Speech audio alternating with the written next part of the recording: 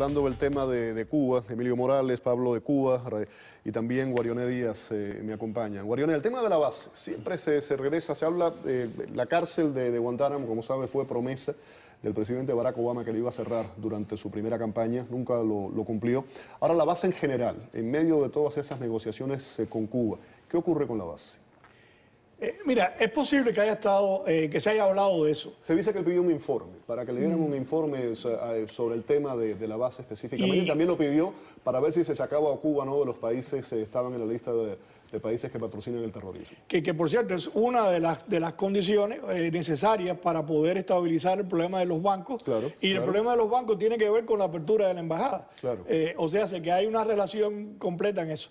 pero, pero no sé, mira, Guantánamo, Guantánamo es más fácil cerrar la cárcel de Guantánamo que, se, que devolverle la base a los Estados Unidos. Mucho, claro, mucho más complicado. Sí, en Guantánamo quedan aproximadamente cinco detenidos que, que, son los duros, difíciles de liberar bajo cualquier circunstancia porque tienen que ver con el 911. Pero los demás más o menos se pueden mandar a cárceles de los Estados Unidos y cerrar la base a corto plazo eh, y no se ha hecho por razones burocráticas más que por otra cosa. Ahora bien, devolver la base de Guantánamo completa eh, es una medida política que en medio de la situación que tiene Obama en este momento y, la, y, la, y ya las, ah, eh, las ah, los candidatos que están postulados para, las elecciones en un par de años, creo que el mismo Partido Demócrata le diría, no te metas en esto que nos vas a perjudicar. Hablando de esa lista de países eh, que patrocinan el terrorismo, hay un informe del Departamento de Estado del año 2013 que señala, lo tengo aquí, que no hay eh, ninguna indicación de que el gobierno cubano suministre ni entrene a terroristas hoy día, eh, pero concluye que sigue dándole refugio a fugitivos a Estados Unidos. Eso es lo que ese informe del Departamento de Estado 2013 señala, refleja. ¿Qué quieren? ¿El tema de la base? Bueno, yo eh, tengo fuentes que me han hablado de que, que Obama sí está interesado en, por lo menos saber informe sobre, sobre la base. Incluso hay, me han preguntado, incluso a mí, que, yo creía que se podía hacer con la base.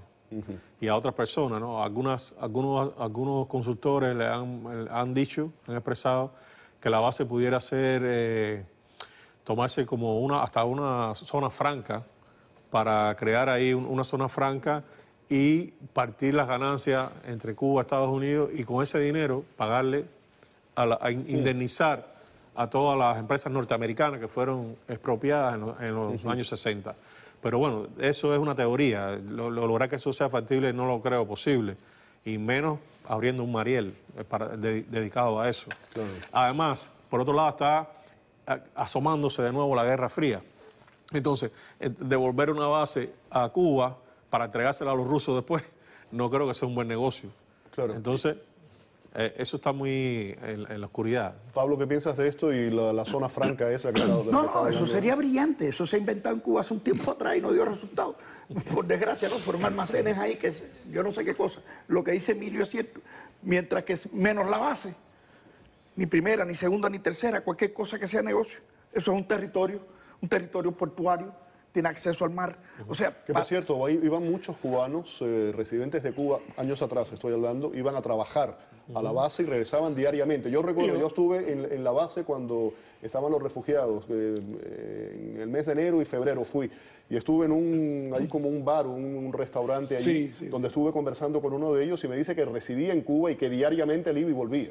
Correcto, eran como, quedaban 8 o 10 en ese momento, en el año 94. Ya, ya todos se han jubilado, ya, ya no, queda ninguno. Ya no queda. Ya, no, queda, Pero, es una zona, eh, es un territorio, un territorio eh, con un valor económico que en cualquier momento se puede dar, sirva, eh, sirva para indemnizar a Cuba, a Estados Unidos de las expropiaciones. Lo que yo pido nada más que sirva para que le dé riqueza a Cuba. Y a partir de ahí paguemos a quien sea. Pero primero, inicialmente, tener gente que genere riqueza, que ese, que ese gobierno entienda, no los logros del logopeda este, que tiene que dar riqueza a una nación, a un pueblo, a sus súbditos. Por eso no es el fin de ellos, ¿eh?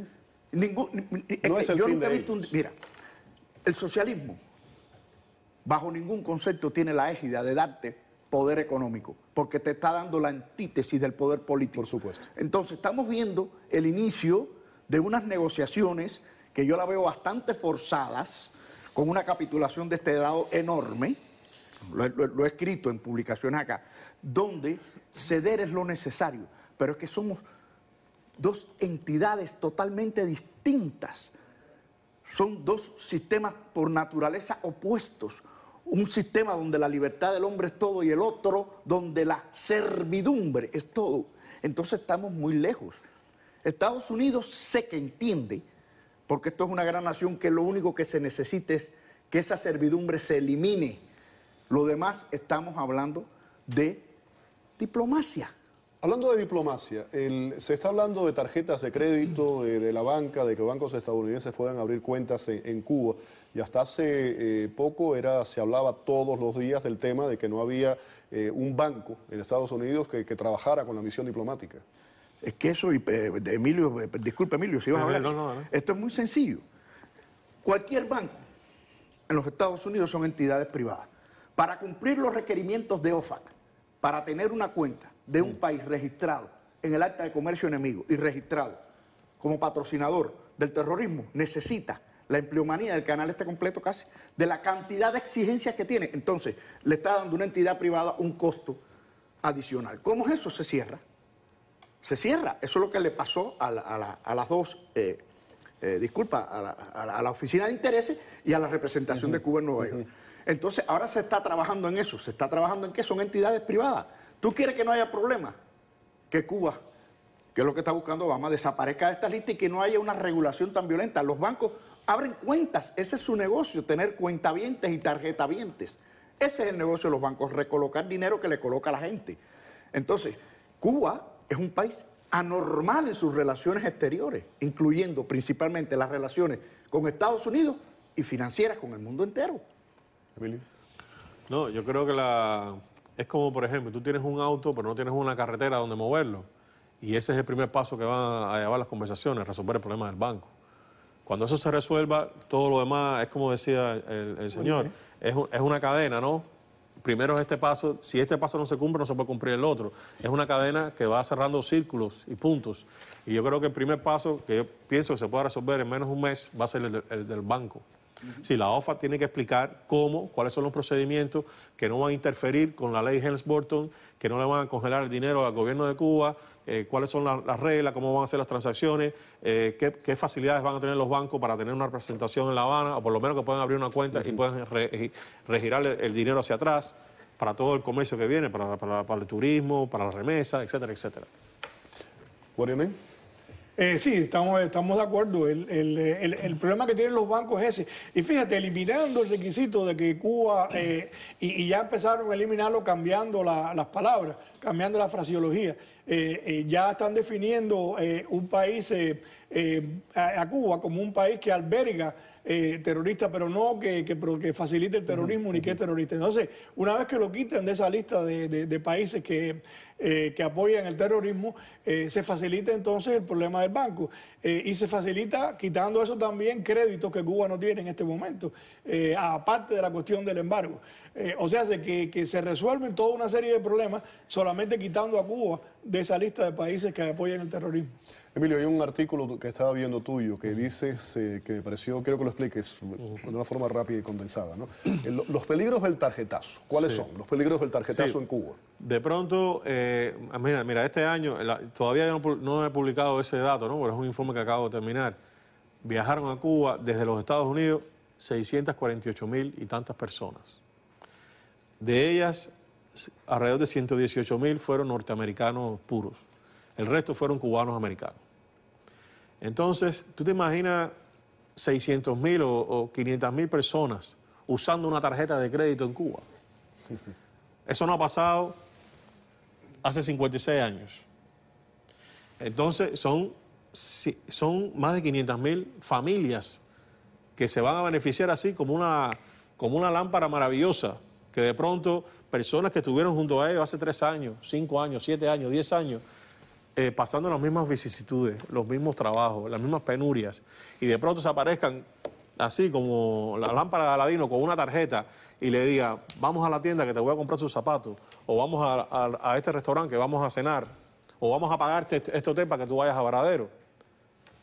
El, efecto, eso es eh, arrasador. Eso no, no hay ideología que pare eso. No puede. Ni, que ni aunque hagan una, una, reunión todos los días en un CDR para lavarle el cerebro a los cubanos, eso es imposible. eso tiene un efecto tremendo, tremendo. Pablo, ¿qué piensas de eso? Bueno, sí, realmente eh, comparto con Emilio que puedan ir a un hotel y una tienda de, de divisas. Yo no creo que puedan ir a un paladar porque no va a haber terminal de tarjeta de crédito en los paladares. Ahí sí. Sí va a haber esto. eh, los cubanos históricamente en sus viajes a, la- a Cuba han tenido el privilegio que los bancos se conocen como AUDEP, es decir, eres una deuda flotante. Pero como no la pueden hacer bancariamente, tienen que hacerlo cash. Se empeñaban antes de ir. Ahora, esto que planteaba Emilio es extremadamente interesante porque eh, el, el cubano puede compartir públicamente con su familia. Ahí viene el sector ideológico. Entonces ya no va a tener que ser encerradito en la casa con los cuatro dineros que tú llevabas para comprar en- y hacer un, barbecue en la casa. Yo pienso que, que sí, que va, va a haber una, una- una apertura con eso, pero recordemos también que eh, la masa fuerte de gastadores son los americanos.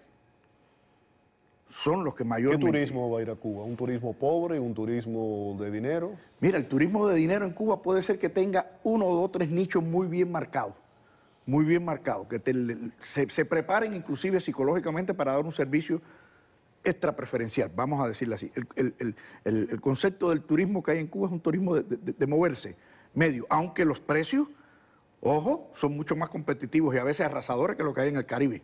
Es más caro ir a Cuba que ir a República Dominicana. El problema también está en que en Cuba, cuando a Cuba tú vas, tú vas en un avión charteado. Tú no vas en una aerolínea regular que puede arriesgar tiempo y sillón, y silla, perdón, en el vuelo. Entonces hay muchos factores que van a romper una estrategia de monopólica que existía ante aquí. Y sí va a ser un factor psicológico grande. ¿Qué piensas de esto, Guarioné? Termino ya contigo y no hablaba, hablaba con ellos la parte económica. Todo esto, estamos hablando de economía, estamos hablando de esto, de dinero. ¿Tú crees que eventualmente, de una u otra forma, estos cambios puedan tener repercusiones en un cambio mm, de la política cubana? Y la, la- la llave del turismo, para eh, terminar con ese tema, eh, depende del servicio que le den a los turistas. El turista que gasta dinero está acostumbrado a un servicio muy bueno en América Latina, en el Caribe, etcétera. Aparentemente Cuba todavía no tiene la infraestructura humana para ofrecer eh, la calidad de servicio al turista que gasta dinero que tienen otros países. Y tiene que desarrollar eso, eh, que también eh, incluye un problema psicológico de la población, que ha estado funcionando bajo ciertos estándares mentales dentro de la revolución que tiene que cambiarlo. Ahora, ¿va a tener influencia en la población toda esta cosa? Claro, seguramente que sí. Ahora, va, esa influencia va a liquidar el régimen, eso está por ver. Porque ellos tienen manera de abrir y cerrar la llave del agua eh, según eh, sean las necesidades del bañista. Claro. Bueno, vamos a, vamos a, una, a una pausa. Les agradezco a los tres el que hayan estado aquí en el, en el programa. Estábamos hablando de- del tema de Cuba, vamos a hablar de Venezuela al regreso y vamos a poner una, una gráfica ahí en pantalla, vamos a repetirla de nuevo en el próximo segmento, pero eh, que tiene que ver con un, banco, un banco importante, cuentas bancarias, ahí lo tienen, en el banco HSBC, cuentas bancarias esto es de venezolanos específicamente, 1.282, clientes 1.138. El monto total, ahí lo tienen, más de 14 mil millones de dólares. Cuentas de venezolanos, cuentas de cubanos, también en ese, en ese banco. Eh, hay aproximadamente unas, ahí están, 70 ba- cuentas bancarias, clientes 29, un total de más de 83 millones de dólares. Voy a regresar hablando del tema de, de Venezuela. Vamos a hablar de esto, de este, del banco, ese dinero, de dónde sale, quién está detrás eh, de todo eso y también una serie de cambios que se han anunciado en, en el día de hoy para los venezolanos, para el venezolano de a pie. Pero muchísimas gracias. Quédense con nosotros.